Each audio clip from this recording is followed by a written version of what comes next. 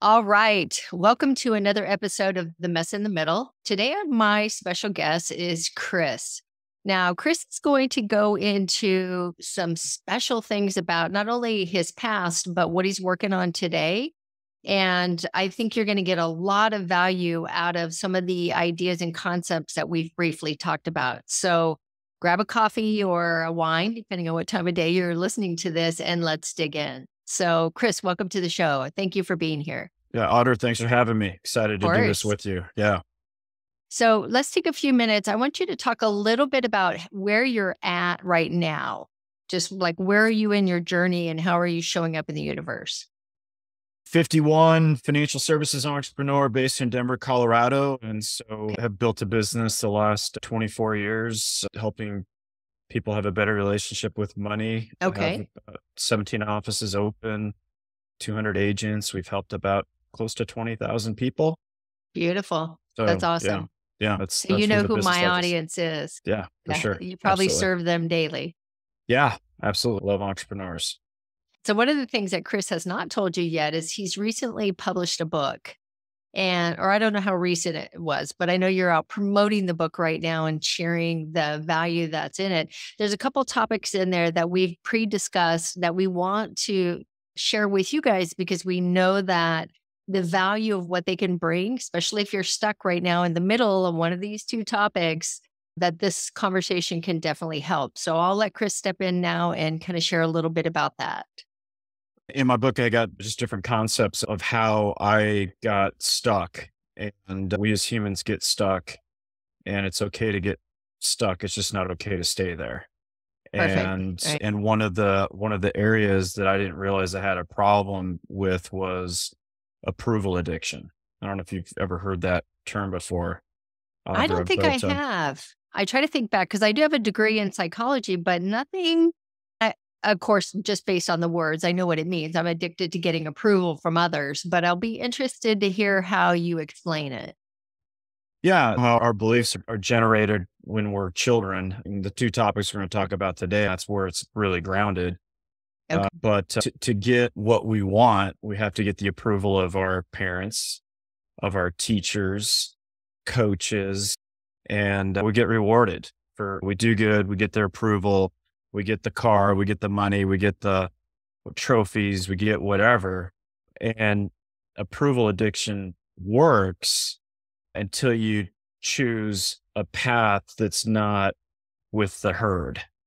Oh, and oh, interesting. So, okay. So if you want to be an athlete, an artist, an entrepreneur, anything that kind of goes against the grain, then what happens is the people in your life, in the name of love, so to speak, Something like that. Yeah. Yeah. They want to, they want to rescue you. And it's the old analogy everyone's heard of the, the lobster that's crawling out of the bucket and the masses want to pull you back. And one, one of my mentors that actually helped me write my book, he interviewed 25,000 entrepreneurs, salespeople, direct sales that had all started a business and they ended up quitting. Wow. And, and he asked, yeah, 25,000 people. And he asked them, do you have an addiction to the approval of other people. And, Interesting. And less than 0.1% said they did. But we're all approval addicts at some level. We all right. want to get, we all want to get affirmed by people, right? Sure. We want to be told that we're doing a good job or what we do is valuable or our, our lives don't work unless we have great relationships. So we, we want affirmation. We need affirmation. It's preferred, but when we cross the line of it going from a preference to a need, that's when we get into danger. Okay. So let me unpack a little bit of that. Out of the percentage, why do you think so many people are not aware of it? I have no idea. I don't, they just don't know. It's a subconscious okay. thing. It's, uh, it's, it's kind of like asking a fish, what's water? A fish is, I don't know what water. You just don't know. And okay. what his studies showed, Audra, was they would do brain scans of people that were one brain scan was someone that had a heroin addiction, and the other scan was the scan of someone that was in full blown approval addiction mode. And the brain scans look identical. Wow. So it must have something to do with dopamine or Absolutely. some kind of, okay, yeah. kick in from that. Okay. So where it just unconsciously evolves with us uh, generation after generation. Now, how does it become a problem? Yeah. So, my personal story, I never really got dad's approval. Okay. Okay. And a lot of people don't get approval of their parents. And, and when we as humans develop this at some point less than, not good enough, not this, not that, I talk a lot about beating ourselves up if we have time, mm-hmm. how to really shift that. My whole thing was I have this less than thought, this less than mentality. And it, it served me in high school uh, in athletics. I was an average okay. athlete, but I busted my tail to work really hard to create success, w- which was good. I always say things serve you until they don't serve you. And there's a slippery slope there and I was addicted to getting approval of other people. And when I left my safe corporate career behind as a CPA and I started launching into my financial services entrepreneurial business and my friends and my loved ones and they're like that's stupid. You're dumb. What you're doing is dumb. You're ruining your life. You're this, you're that. I was not getting their approval and it was painful. I bet. And it hurts. And what happens is that can take you out of the game if you really don't know what it is you want and why you want it. And most entrepreneurs, they're just busy.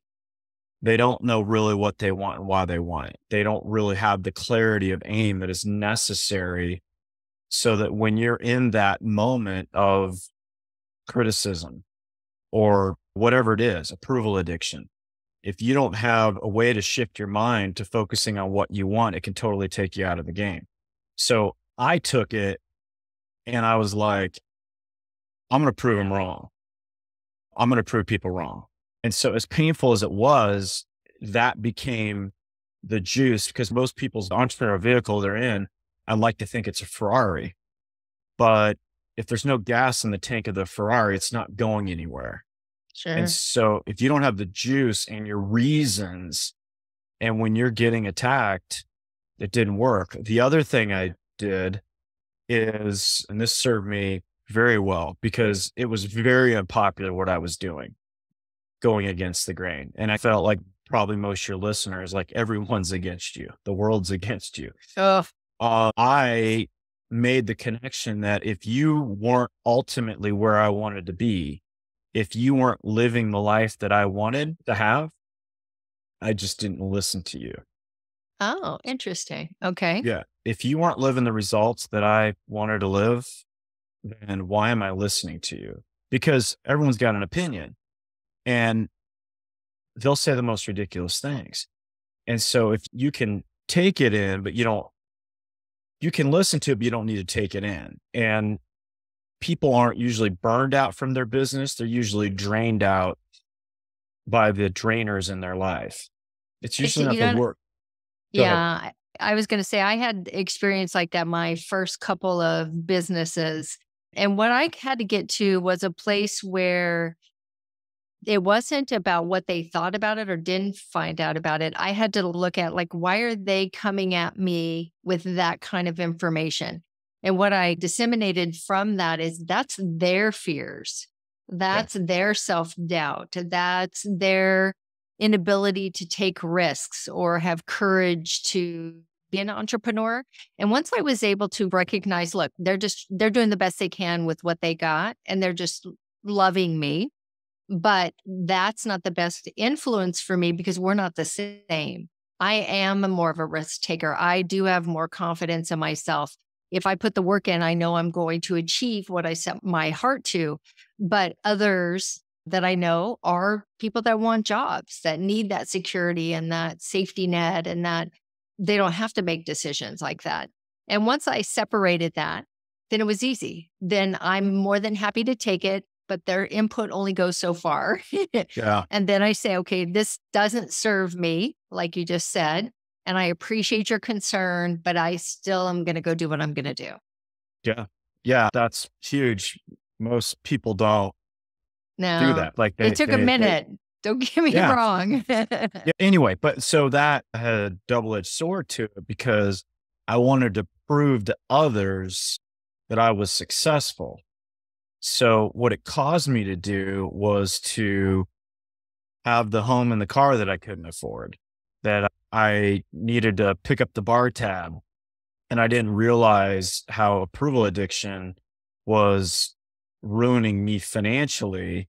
Didn't help with my first marriage that didn't last very long because she was all about appearances and I bought into it. I was divorced and in $250,000 of credit Oh. card debt because of that. And I signed an office lease that was too big because I Mm. wanted to look like I had a big office, 6,000 square feet. And it, so it was in the Great Recession and I'm bleeding Oh, three, I four thousand, three, three, four thousand negative cash flow every month. I had a mortgage, I had the office lease, and I was paying my two hundred dollars a month in alimony and child support. So this approval addiction is real. Is no joke. it's no joke. And then my second, current, and last wife, if she's listening, Marlo, she walked into a disaster, and we wrote a book twelve years ago called Couples Money that was talks about how we unraveled the disaster and nice. and thrived.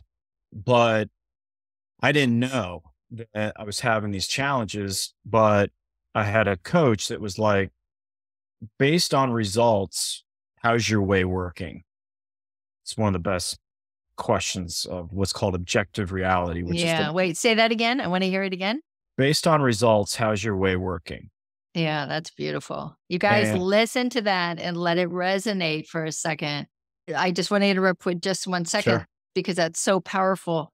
We become entrepreneurs because we want to be our own boss. But what we have to remember is if you were in a job and you were the top, say you were the VP of whatever your industry is, and you make a move to come over from being mm-hmm. at the top to being an entrepreneur, you're actually starting down here not in expertise, but in how to run a business. You have got to be open minded enough and humble enough and okay enough in your own skin to learn from other people's mistakes. The entrepreneur path has been laid for hundreds of years, probably by now, hundreds of thousands of millions of businesses. It's all there for us. So slow down long enough, check your ego, because this isn't about ego and learn how to take advice from others that have gone this path. If you're struggling, you got to stop. Am I struggling with approval? Am I chasing the wrong things? Am I looking for people that are just there to give me some kind of dopamine hit, but don't actually turn into transactions? Look at all of that and assess where you're at. The sooner you can get in and assess the situation, the sooner you can make changes. If you just stay oblivious to it, you, we're going to have this conversation if you're fortunate enough to last next year because you haven't worked through your stuff. So, business is no different. So, dig in and get started doing this work if this is an issue for you, which clearly, you know, based on that gentleman's study of 25,000 people, it's bigger than we think it is. So, just be open to the idea, is all I'm saying. Well, go. ma- yeah, no, it's massive. The number one skill of a world class performer is what's called objective reality. And it's the capacity to look at your results and own your results without taking yourself down emotionally. Good. That's it. And That's so, and our number one thing that we have to do as people, and as entrepreneurs, is not be delusional. And one of my favorite quotes is optimism and delusion sleep in the same bed together. So all this is going on, Audra. It's a financial crap show. And I'm like, how are you, Chris? It's awesome. Things are great. This is such a delusional. And And then I worked with a world class coach for four and a half years that just put a mirror in front of me and he's like, dude, it's not good. You got to own it. You created the mess. You put yourself here. But so I, I humbled down and we have to humble down because your, Yeah. your, your ego is not your amigo and mm-hmm. it wants you to stay stuck right where you are. And Right. so I knew I had to grow, I had to change, I had to develop. I did not yet know approval addiction was a challenge. So I, I was at a, a 10 day seminar, all guys, worst and best 10 days of my life. I bet. And the worst part was I wasn't getting anyone's approval. Oh, So yeah, hand of God moment. Hey, let's put Chris in an environment for 10 days where nobody knows who he is. Because I was leading some people. I had a little bit of success, even though the financial stuff wasn't happening. So I had a high opinion of myself. And I go to a place where nobody knows me and I'm not getting the dopamine hits of everyone's approval.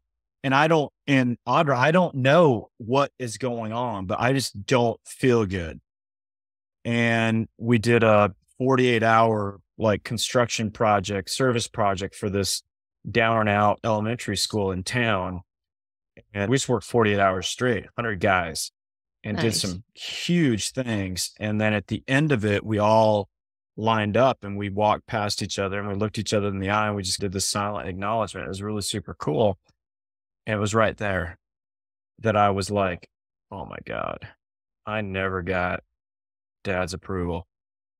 And I've been running around like a chicken with his head cut off, like the Tasmanian devil, trying to get everyone's approval.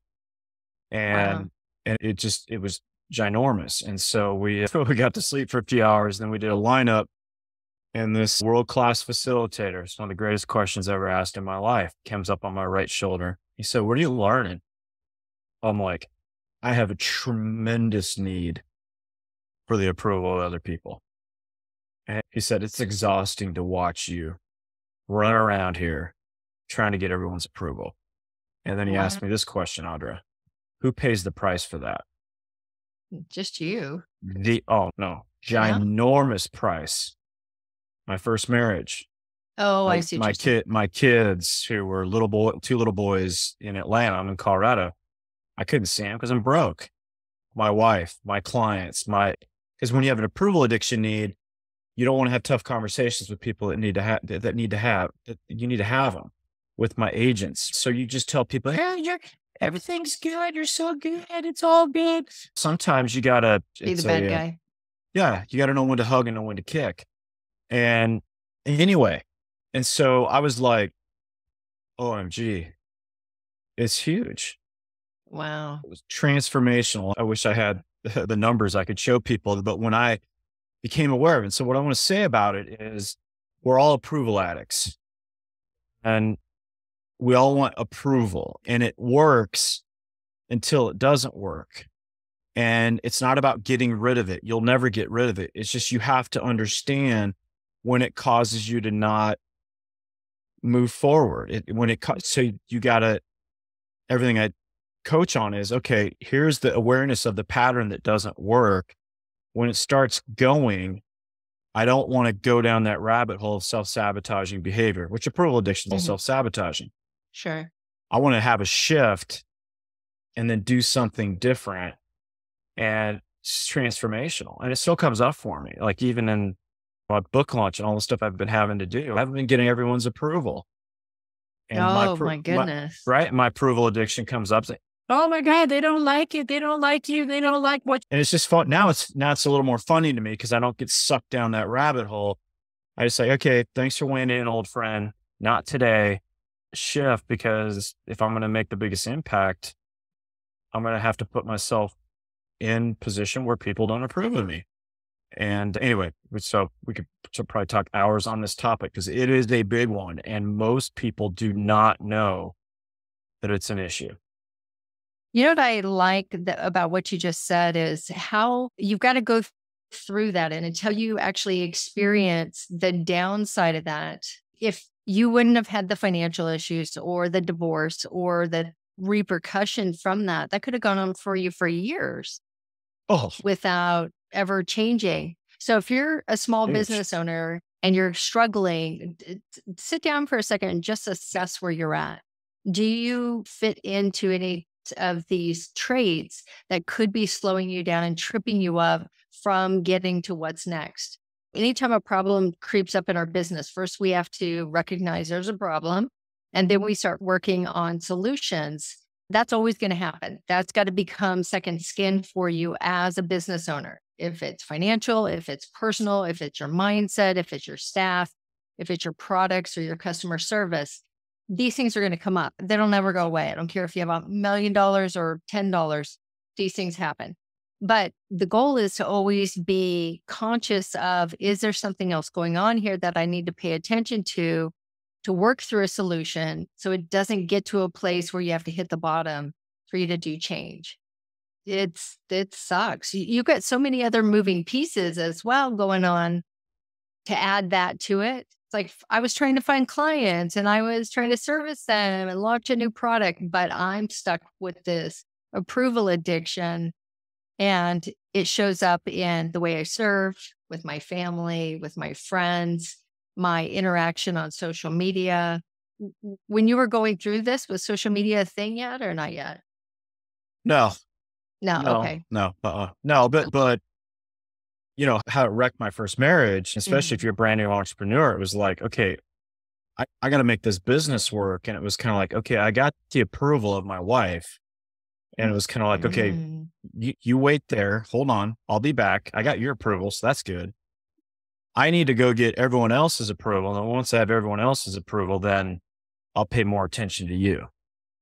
But it's very true. I wasn't just that's not just me. It's it's often fed, never satisfied. It's a bottomless pit. And people are hearing this maybe for the first time, but just take it in and just watch the action step is okay, this thing is real. What is causing me to hold back?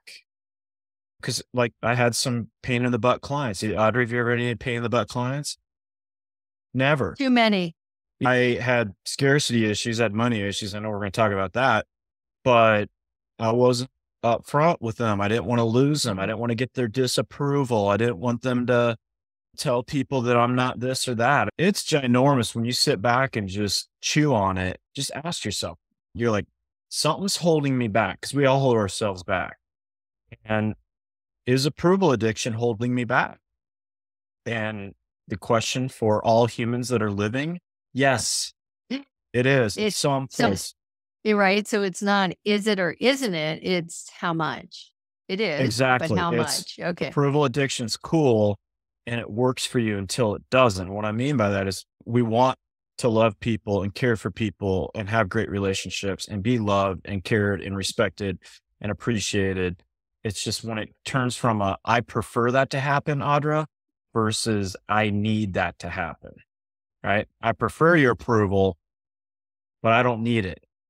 So let's pivot a little bit. So we know that we've got this approval addiction that's going on. How big, how much we need to manage it or redirect it is one thing. Where does it show up? So you mentioned financially, you mentioned in relationships and customers. Let's go down the path of financially. I know if you're going through this messy middle, finances typically plays a part in this, either generating not enough revenue or trying to get to that next level. How does approval play into that situation?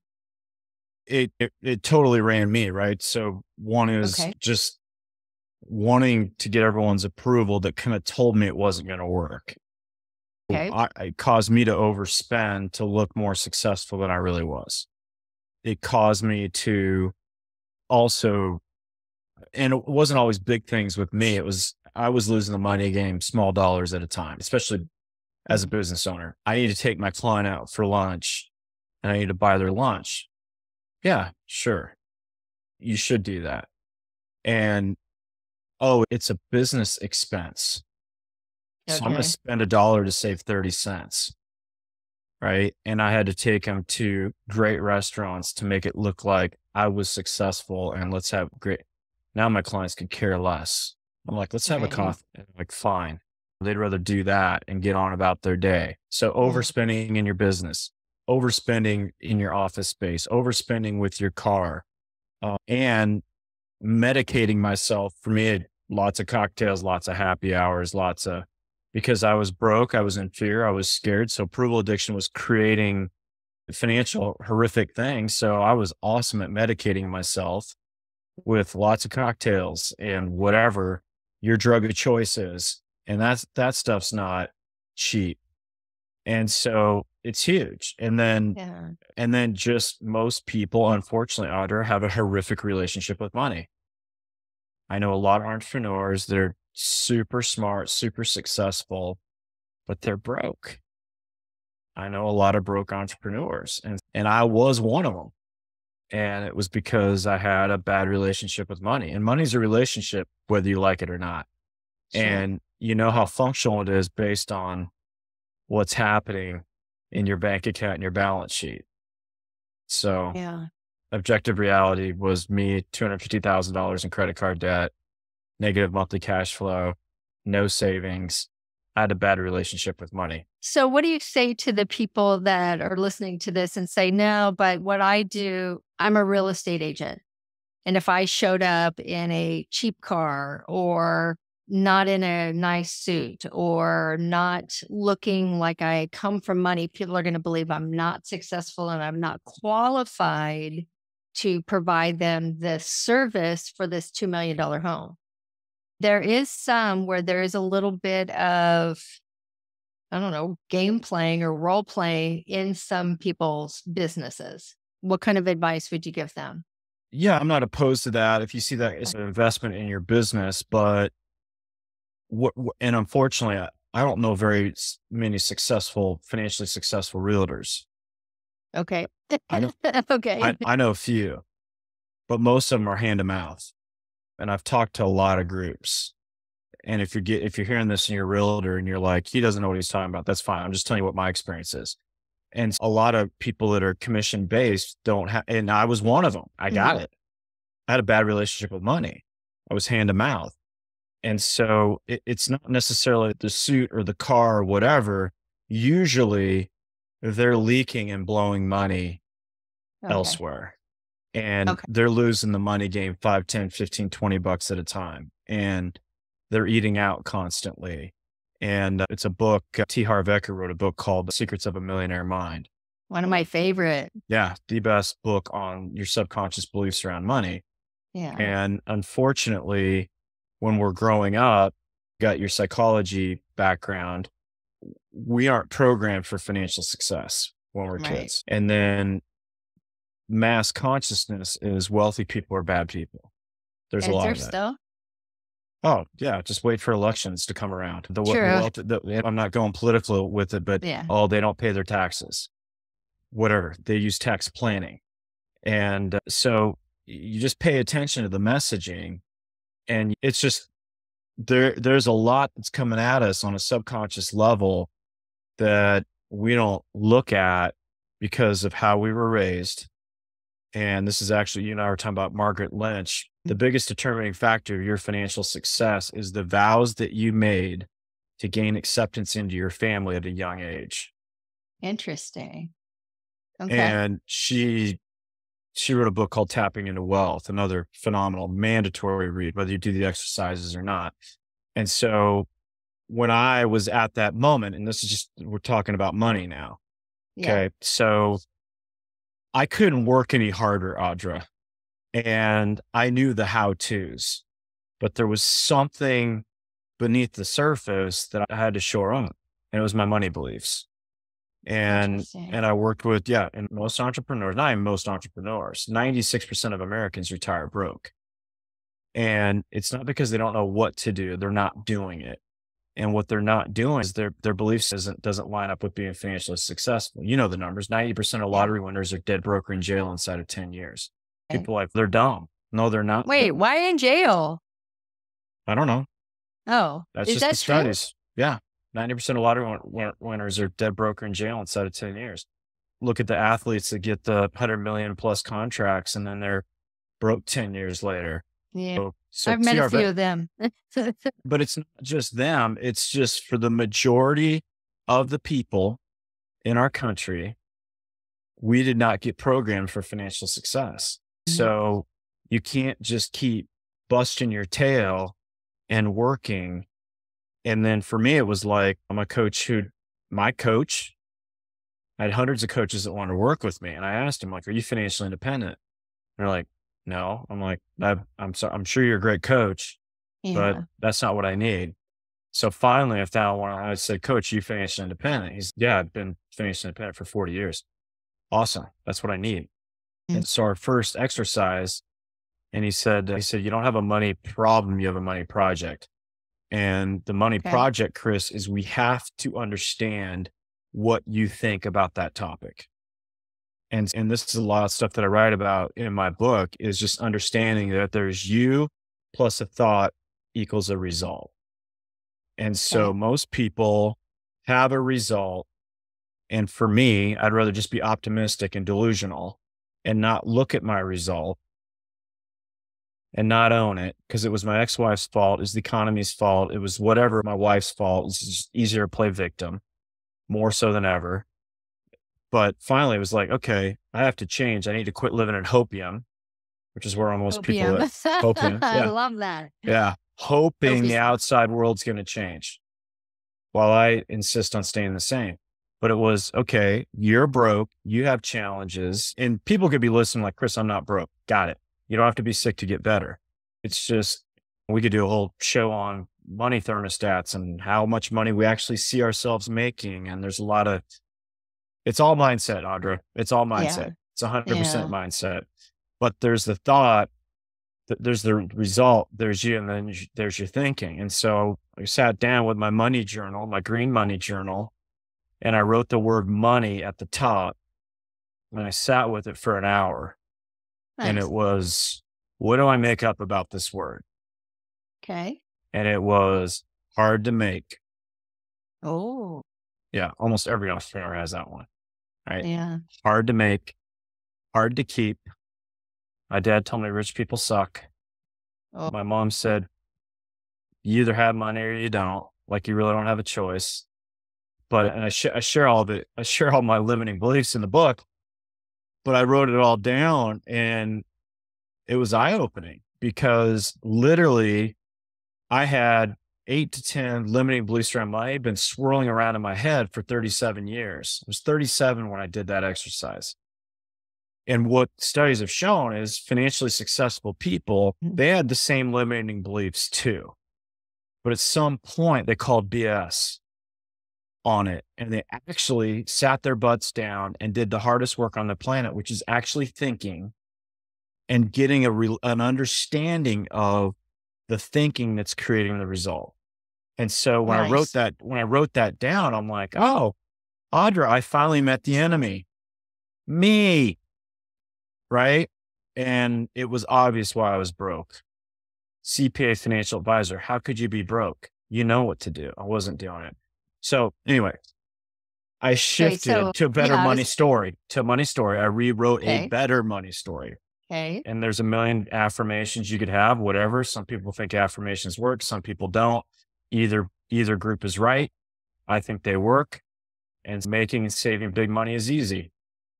Money is the scorecard of value that I'm creating for others. So okay.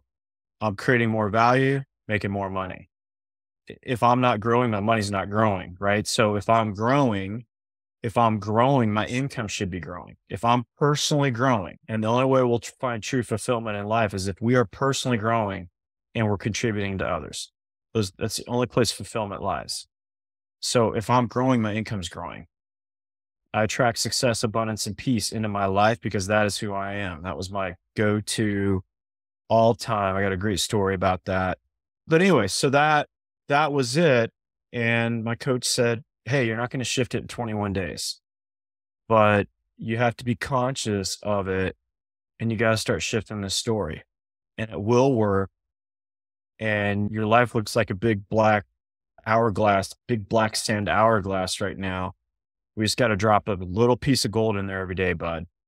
And that is you affirming the right things, you keeping your word, whole another topic, keeping your word to yourself and and doing the work and doing the uncomfortable yeah. things and not letting approval addiction get the best of you. But if you could just drop a little piece of gold in that hourglass every single day, it's going to light up and it'll be mostly oh. gold and then it'll be all gold. And that was the image he gave me that uh, actually gave me hope wow. that I could change it a little bit at a time. I could eat the elephant one bite at a time and, and we transformed. That's great. What a great mm. story so many people, when they start running into challenges in their business, they don't take the time to look in here. It's typically out here. The market's not right. The economy sucks. Nobody's spending money on this widget right now. My customers aren't willing to pay this price. I can't get it supplied at a decent rate. The customers won't do the work if they're a coach that I ask them to do. So it's always some kind of outside reflection, which you touched on there. But nine times out of 10, it's not outside, it's internal. It's your own crap, your own stories, your own made up belief of who you are and where you're supposed to be in this life. And I've had quite a few podcasts about this. Mindset trips up everybody. And I don't care what stage of the business that you're in, it will become a challenge at some point through this process you need to stay cognizant of it becoming a bigger issue. So you, one, you don't end up down the road as Chris did. Your your mistakes serve many other people to prevent that. So the ones that have traveled before you that have taken the arrows, learn from their mistakes and sit down and look at it and say, my bank account's empty right now. My credit cards are maxed out. People are not buying. Instead of me saying somebody else put me in this situation, you got to take responsibility for it and say, you know what? I'm the business owner here. This is my responsibility. The good comes with the bad. You decided to be self employed because you wanted to be in charge. When stuff like this comes up, you're in charge. Fix it. Dig in, get a coach, get some books. Chris just gave a couple great recommendations. There's lots of books out there about money and getting back to the right place if that is an issue. But the more work that you can do on yourself and the more that you do that introspect to find out where you're showing up or not showing up, the quicker you'll recover. And then you're able to move into the next things. One more tip on that. I run into a lot of people that the product, the service, the clients, the pricing, none of that is the issue. It's all up here.